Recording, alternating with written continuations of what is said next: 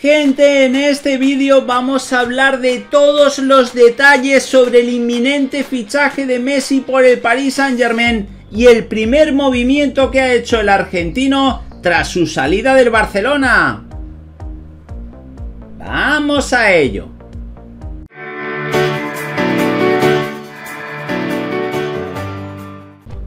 Hola de nuevo gente, ¿cómo estáis? Bienvenidos de nuevo a otro vídeo para el canal. Vamos a analizar la última hora del Fútbol Club Barcelona y vamos a hacerlo con varias noticias. Por tanto, te animamos a que te quedes hasta el final del vídeo, a que nos dejes un buen like y a que le deis a la campanita de notificaciones.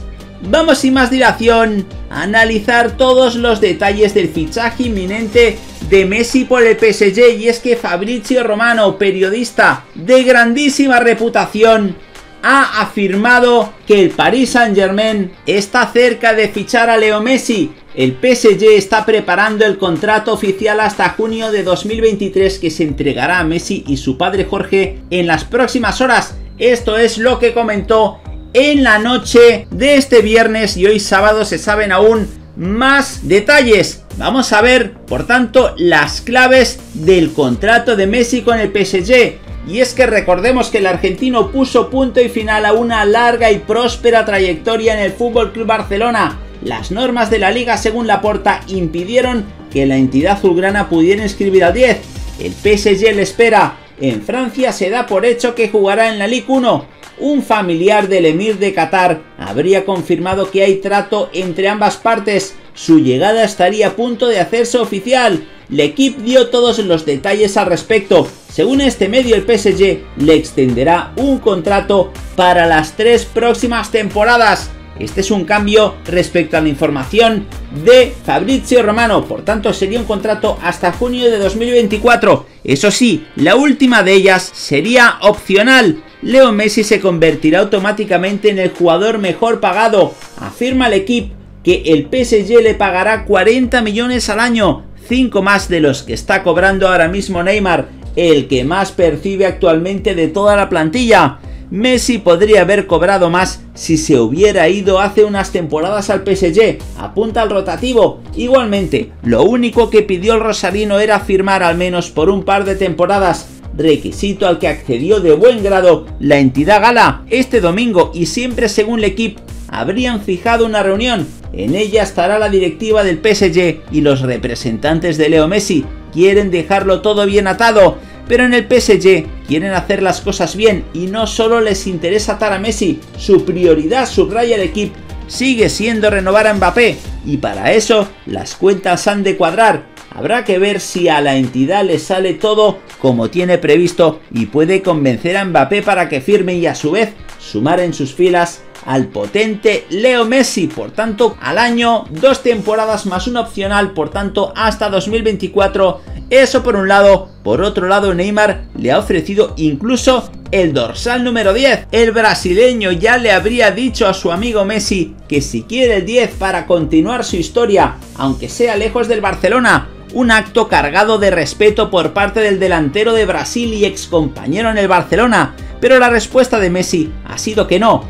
Messi no quiere entrar en el PSG teniéndolo todo por delante y el argentino podría llevar el dorsal 19 que también fue parte de él durante las primeras temporadas en el Barcelona. Por tanto, detalle de Neymar incluso antes de que haya firmado Leo Messi su contrato y es que incluso el argentino ya tiene fecha de presentación. Y es que cuando se haga oficial la noticia del fichaje del argentino, será el auténtico bombazo del verano y como no, el PSG estaría preparando una presentación a la altura del astro. La entidad parisina, según contó la periodista Verónica Brunati, quiere usar la gran Torre Eiffel por Leo Messi el club pedirá presentar allí este próximo martes al delantero argentino en un super evento que recordaría al de Cristiano Ronaldo y el Balón de Oro de 2017. El PSG quiere tener la Torre Eiffel disponible porque entienden que así debe ser recibido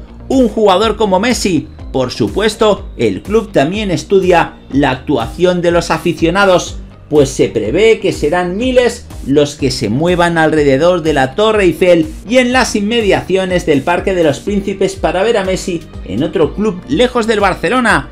El Paris Saint Germain ya está mirando la decoración especial que colocarán y todo lo que puede girar alrededor de dicha presentación por si logran el acuerdo definitivo. Por tanto, todo listo en París para recibir a un Leo Messi del que ya se venden camisetas en la capital francesa. Ver a Messi con una camiseta que no fuese la del Barcelona o la de Argentina era una quimera hasta hace unos días. Sin embargo, su adiós del club azulgrana de forma oficial ha provocado un seísmo de grandes magnitudes en el mundo del fútbol.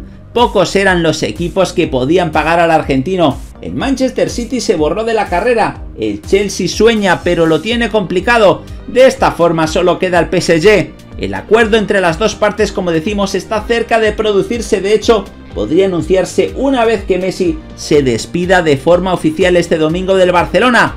La ilusión ha llegado a las calles de París ya se ha visto en una tienda cómo venden la camiseta del PSG con el nombre de Messi y el número 19 a la espalda.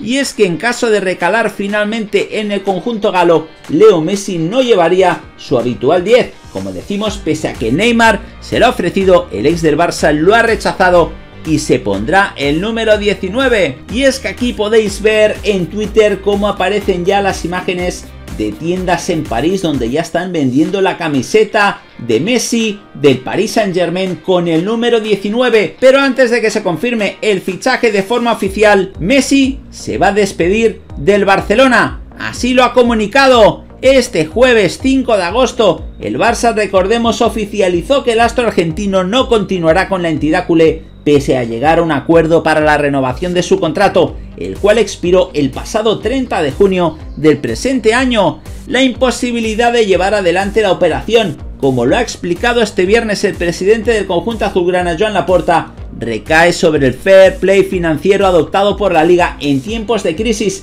la gestión financiera de Bartomeu y la abultada masa salarial que siguen sin poder rebajar pese a los esfuerzos. La prensa de Barcelona y la francesa han afirmado que el destino de la pulga será el PSG del entrenador argentino Mauricio Pochettino y su amigo el brasileño Neymar, de quien apuntan ha sido clave en la operación mientras ese torbellino de informaciones inunda la ciudad condal. De acuerdo a lo avanzado por Cope, Messi ofrecerá este domingo 8 de agosto a las 12 horas una rueda de prensa de despedida en el Camp Nou, justo horas antes de que el Fútbol Club Barcelona dispute un partido por el trofeo Joan Gamper en el cual se enfrentarán a la Juventus de Turín de Cristiano Ronaldo, quien no podrá encontrarse con Messi luego de que ambos se vieran las caras en la derrota azulgrana en el Camp Nou en aquel partido de la fase de grupos en la pasada edición de la Liga de Campeones. El club azulgrana ha anunciado que se enfrentarán a la Juventus este 8 de agosto acompañados de su público en las gradas del estadio Johan Cruyff. Por tanto, estaremos muy atentos de lo que diga Messi en rueda de prensa y es que hay muchísima expectación para ver la opinión de todo lo que ha pasado en estos últimos días con el capitán de la selección argentina. Vamos a hablar ahora de las despedidas que siguen sucediéndose. El último en hacerlo ha sido Samuel Eto'o, el camerunés que fue compañero de Leo Messi en el Barça también se quiso despedir del argentino y dijo qué dolor imaginarte con otra camiseta.